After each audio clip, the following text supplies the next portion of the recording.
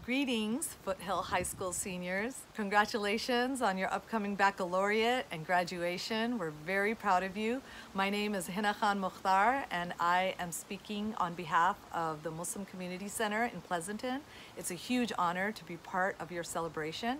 I was asked to speak to you about the concept of gratitude and what the Islamic perspective is on it. So I wanted to share a few very deep quotes from our tradition.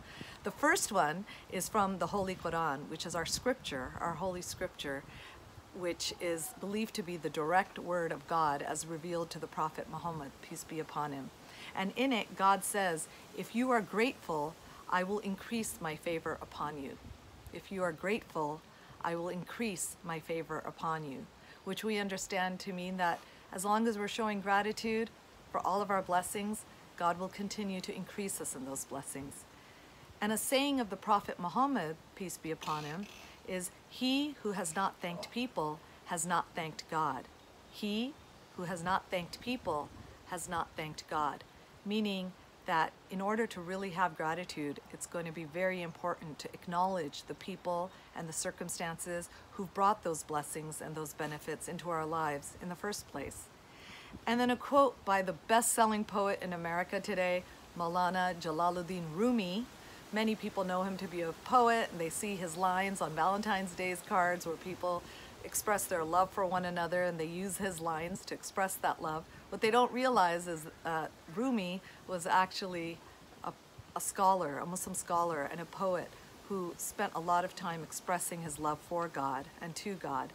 And he said, Should you not gain your wants, my soul, then be not grieved. Only by contentment is the heart relieved. Should you not gain your wants, my soul, then be not grieved. Only by contentment is the heart relieved.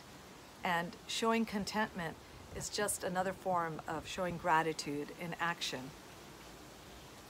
And the other uh, concept that Muslims have is that the way to respond to all the different blessings in our lives is to show gratitude for them. But showing gratitude for our blessings doesn't mean to just say, thanks, this is great, keep it coming, I love it. Showing gratitude actually means to then use those blessings in accordance with what God expects of us and to use our blessings in a way that would be pleasing to God. So if we're grateful for the gift, the blessing of eyesight, then we make it a point to only look at that which is pleasing to God. If we're grateful for the ability to speak, and to have a tongue that can articulate our innermost thoughts, then we use our voice and our tongues to only express that which we know would be pleasing to God. So I wanted to remind you of that. You seniors are going out into the world now, that we are praying for you all to continue to be increased in blessings.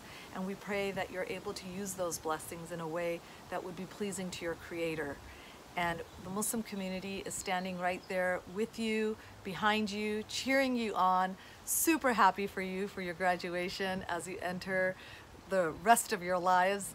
And um, just know that we are sending you our best. We're very, very happy for you. Congratulations.